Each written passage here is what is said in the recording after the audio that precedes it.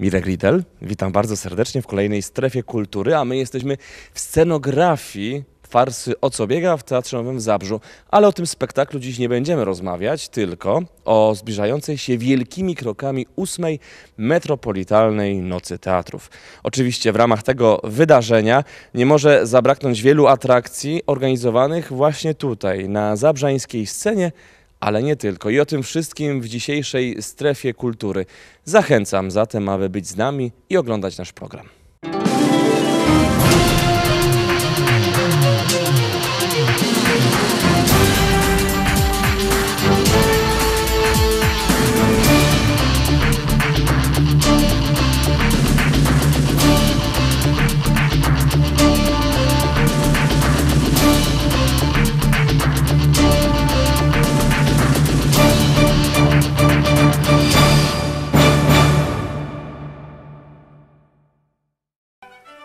Zabrzu trwa piąty Międzynarodowy Festiwal imienia Krzysztofa Pendereckiego.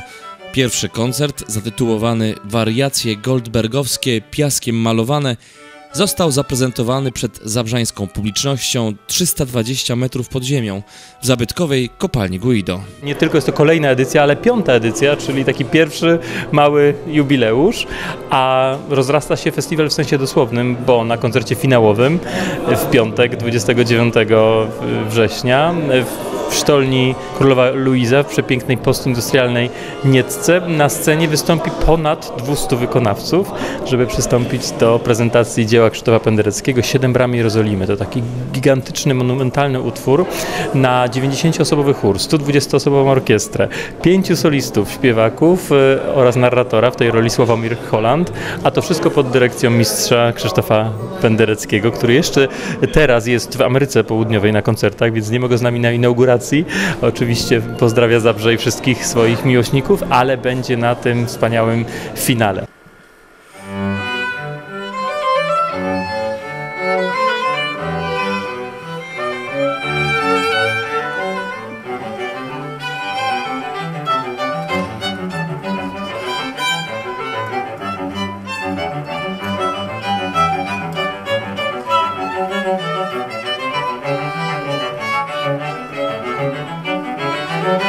Jeszcze po inauguracji będzie wspaniały koncert Filharmonii Zabrzańskiej, gdzie wystąpi znakomity wiolonczelista Arton Oraz, wielki przyjaciel Pendereckiego, który zagrał utwory jemu dedykowane, a za chwilę inauguracja festiwalu i no, taka gwiazda naprawdę światowego formatu, legendarny skrzypek Dmitry Sitkowiecki, który wraz ze swoim Stradivariusem zjechał właśnie 320 metrów pod ziemię, także kolejna premiera.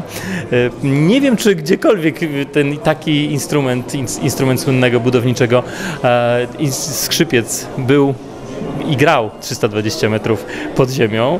Wspaniały utwór Wariacje Goldbergowskie Bacha, też takiej właściwie już kultowej aranżacji Dimitra Sitkowieckiego na trio smyczkowe, a do tego pani Irina Titowa będzie to im interpretowała graficzno-wizualnie, malując piaskiem.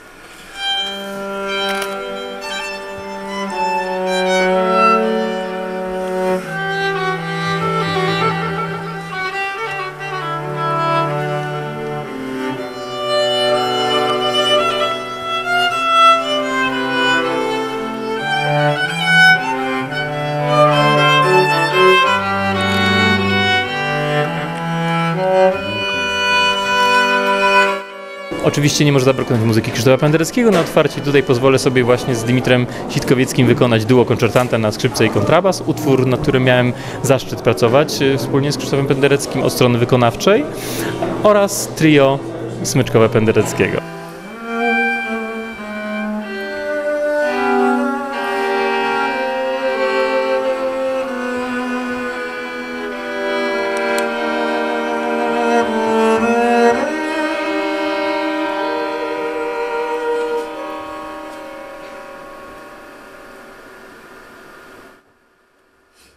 Święto muzyki, które obchodzimy raz w roku, e, muzyki bardzo ambitnej i e, e, właściwie wydarzenie z najwyższej półki, jakim jest festiwal imienia Krzysztofa Pendereckiego. Myślę, że bardzo dobrze się wpisuje w ten klimat postindustrialny, który tutaj mamy. Taki jest e, zamysł między innymi właśnie rewitalizacji tego typu obiektów i nadawania im zupełnie nowego życia.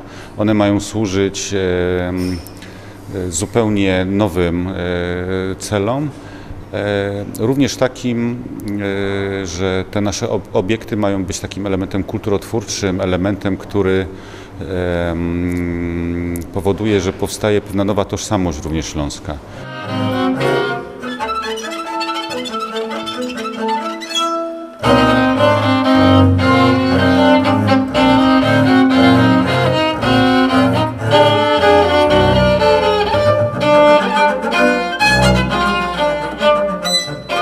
Thank you.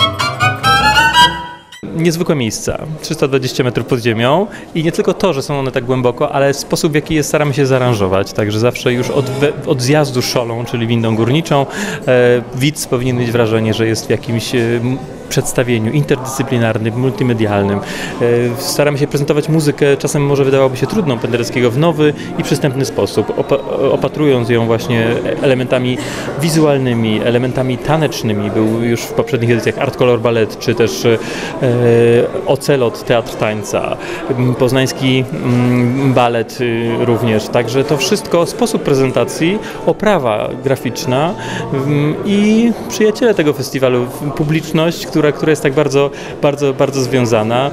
Y, Jest to, mógłbym powiedzieć, oczko w głowie pani prezydent y, Małgorzaty Mańki-Szulik, y, która jest, jest no wielką miłośniczką muzyki, co naprawdę rzadko się zdarza na tak wysokich stanowiskach. Pani prezydent sama chodzi na koncerty mm, poza festiwalem, no i myślę, że właśnie to, że profesor Penderecki jest tak blisko tutaj z nami, współpracujemy nad powstawaniem, wymyślaniem coraz to nowych pomysłów na sposób tej prezentacji, jest gwarancją sukcesu.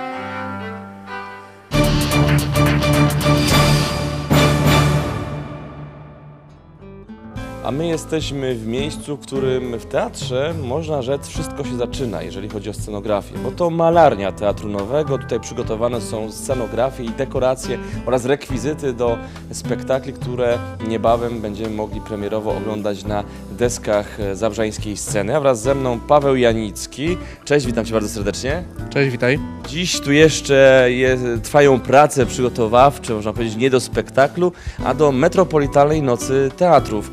Który raz już w naszym regionie będziemy obchodzić taką noc? Tak, tego tu jeszcze nie widać, ale już po raz ósmy w tym roku obchodzimy Metropolitalną Noc Teatrów. Na czym polega to wydarzenie?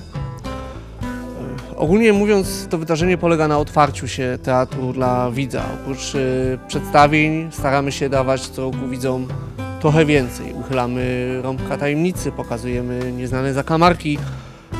Robimy coś I dziś nieprzypadkowo jesteśmy w malarni i rozpoczynamy naszą wędrówkę po Teatrze Nowym właśnie od tego miejsca, bo tutaj w sobotę również zaprosicie widzów. Tak, co prawda tego jeszcze nie widać, ale trwają prace przygotowawcze. My jako Teatr Nowy w Zabrzu od zawsze Noc Teatru zaczynamy najwcześniej w regionie, bo nasza Noc Teatru zacznie się o 11 rano.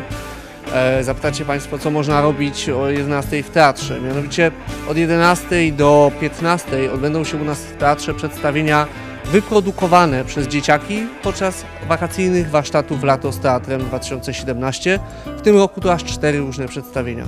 To wszystko nad nami na deskach Teatru Nowego w Zabrzu. Dwa przedstawienia odbędą się nad nami na górze, dwa przedstawienia tu w malarni, dlatego tutaj zaczynamy naszą podróż. Czy będzie również zwiedzanie teatru? Tak, o godzinie 17.45 będzie można zobaczyć zakamarki tego teatru. Tak samo jak ja teraz Was oprowadzam, tak samo będę oprowadzał widzów.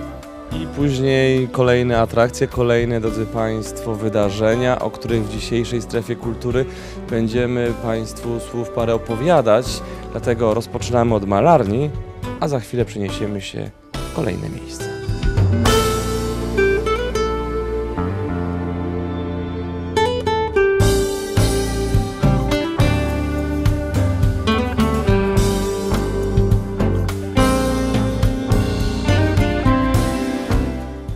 Teraz z Pawłem przenosimy się do małej sceny Teatru Nowego. Tutaj, jak Państwo pewnie rozpoznajecie, elementy scenografii plastusiowego pamiętnika. Czy bohaterowie i czy rekwizyty właśnie z tej bajki będą potrzebne w czasie Metropolitalnej Nocy Teatrów? E, Nie, nie, zupełnie nie. To scenografia, która została po ostatniej bajkowej niedzieli, która się odbyła tutaj w tej sali. Mm, Impreza też, która cieszy się ogromną popularnością. W tym miejscu w najbliższą sobotę odbędzie się dramat czytany. Dramat czytany w reżyserii Zbigniewa Stryja, Antygona Krona, znanego zabrzeninom autora Bomiro Gawrana, czyli znanego m.in. ze Śmiechu Zbronionego lub Wszystko o kobietach, wszystko o mężczyznach. Zbyszek oprócz tego, że wyreżyseruje ten dramat czytany, również będzie czytał razem z naszą aktorką Dagmarą Noszczyk. O 17.30 zapraszałem bardzo serdecznie. E, Tutaj na tej widowni zasiądą e, ci, którzy chcą posłuchać tego dramatu czytanego, a aktorzy na scenie będą siedzieć, czy będą również e, no, poruszać się po tym małym skrawku Teatru Nowego. Powiem szczerze, że na próby jeszcze nikt nie został wpuszczony, więc ciężko jest mi powiedzieć. Myślę, że będzie to niespodzianka dla nas wszystkich. Lepiej, drodzy Państwo, że nie odkryliśmy wszystkich kart, tylko niech to będzie taką zachętą tego, żeby e, w najbliższą sobotę przybyć na Metropolitalny Noc Teatrów, a my idziemy z Pawłem do jeszcze jednego miejsca, w którym myślę, że przygotowano, jak pewnie Paweł za chwilę opowie, wiele fantastycznych niespodzianek.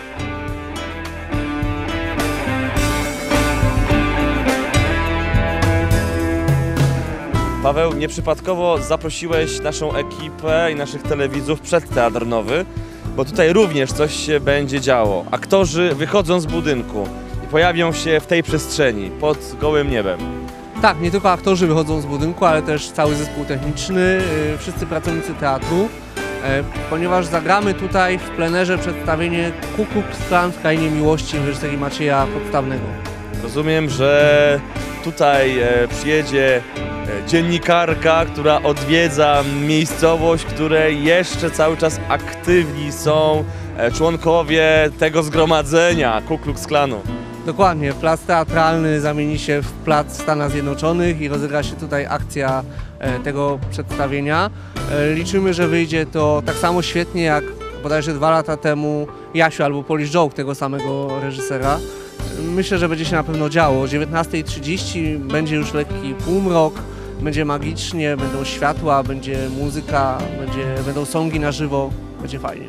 I miejmy nadzieję, że będzie pogoda, że nie będzie padał deszcz, żeby wam to nie pokrzyżowało planów.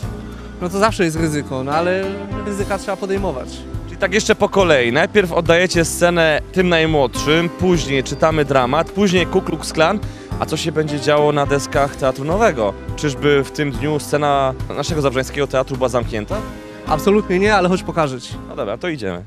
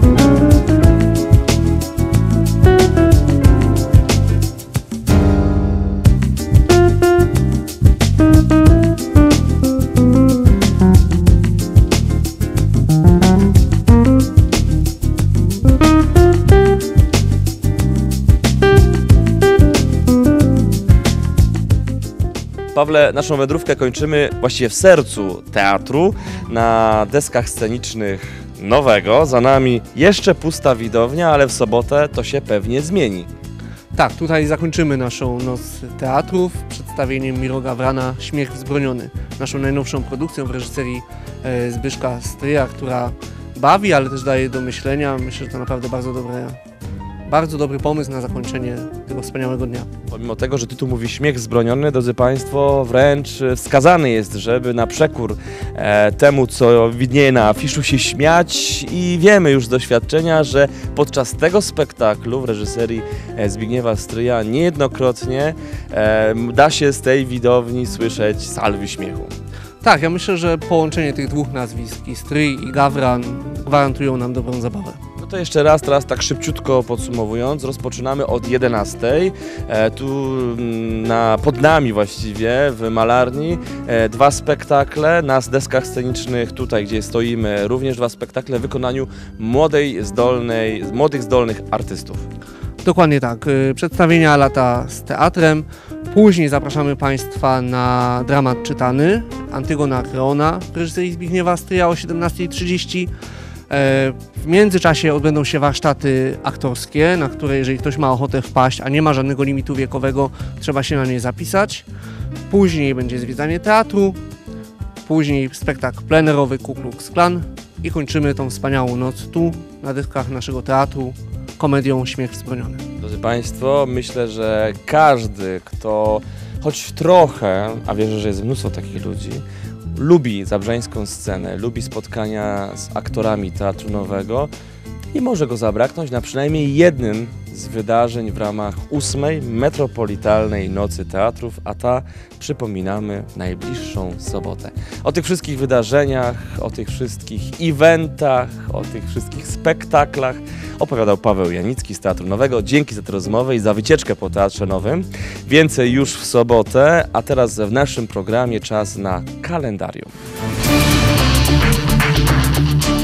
Jak zwykle nasz przegląd kulturalnych wydarzeń tygodnia rozpoczynamy od wizyty w kinie Roma, gdzie na wielkim ekranie od piątku codziennie o godzinie 18 i 20 będzie można oglądać francuską komedię pod tytułem Nie ma tego złego. W piątek o godzinie 19 koncert finałowy 5 Międzynarodowego Festiwalu imienia Krzysztofa Pendereckiego. Na estradzie w postindustrialnej przestrzeni sztolni Królowa Luiza ponad 200 artystów wykona monumentalne dzieło mistrza pod tytułem Siedem bram Jerozolimy. Tym stosunkowo rzadko prezentowanym utworem zadryguje sam jego twórca, patron festiwalu, maestro Penderecki. A w sobotę w Zabrzu kolejne emocje, tym razem związane z ósmą Metropolitalną Nocą Teatrów. Przypominamy, że Teatr Nowy zaprasza już od godziny 11, a o 19 przed budynkiem teatru prezentacja spektaklu Katarzyny Surmiak-Domańskiej pod tytułem Ku Klux Klan w Krainie Miłości w reżyserii Macieja Podstawnego. O 21.30 na deskach nowego komedia Miro Gawrana pod tytułem Śmiech wzbroniony w reżyserii Zbigniewa Stryja. Spektakl do obejrzenia w Teatrze Nowym także w niedzielę, tym razem o godzinie 18. I tym zaproszeniem kończymy dzisiejszą strefę kultury. Raz jeszcze przypominam o ósmej Metropolitalnej Nocy Teatrów, która będzie miała miejsce już najbliższą sobotę. W Teatrze Nowym przygotowano wiele fantastycznych wydarzeń. Wszystko rozpoczyna się o godzinie 11. Będzie w programie m.in. spektakl plenerowy, ale także mm, komedia na deskach Teatru Nowego. A kolejna strefa kultury już za tydzień w czwartek o godzinie 18 na antenie telewizji Zabrze. Przez cały tydzień nasz program można znaleźć w internecie na stronie www.tvzabrze.pl. Polecam również nasz profil na Facebooku. A ja dziękuję za uwagę. Do zobaczenia.